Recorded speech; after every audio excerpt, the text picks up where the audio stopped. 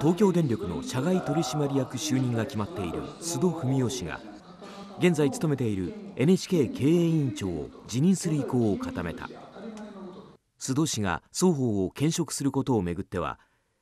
NHK の報道機関としての中立性が損なわれるとの批判が高まっていた。もし私がいなくてもその経営課題に揺らぐようなことがないだろうと。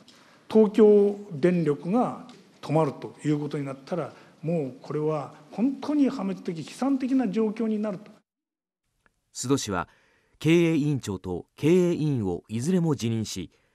東京電力の社外取締役に専念する意向を明らかにした。